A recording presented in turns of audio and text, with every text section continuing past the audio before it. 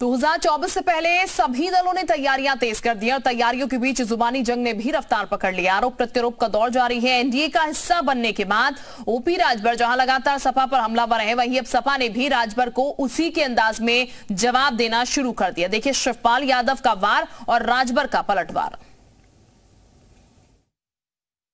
बोले थे, देखिए, पिछड़े समाज के जितने भी लोग हैं, वो भारतीय जनता पार्टी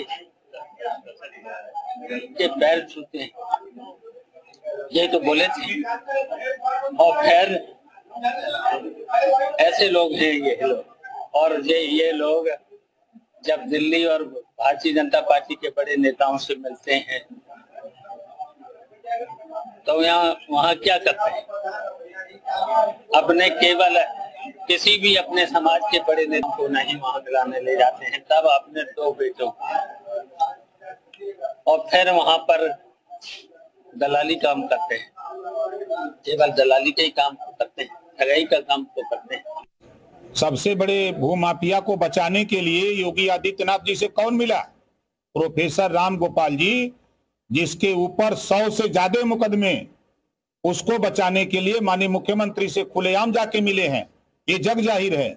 आप ही लोग अपने चैनल पे चलाए थे उसको। ये क्या जवाब देंगे? समाजवादी पार्टी के लोग झूठ बोलने में बहुत माहिर हैं। सीबीआई जाके राती के मिली है प्रधानमंत्री से। राती की मिली है मुख्यमंत्री से कि जान बचाओ।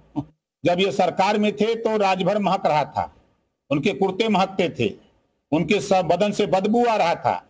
जब पुलिस की भर्ती होती थी, तब न राजभर दिखाई देता था, न चौहान बिंद केवट मल्लापाल प्रजापति कुमार धोबी दरकार नहीं दिखाई देता था। पटेल मौर्य नहीं दिखाई देता था। तब खाली उनको अपनी बिरादरी दिखाई देती थी।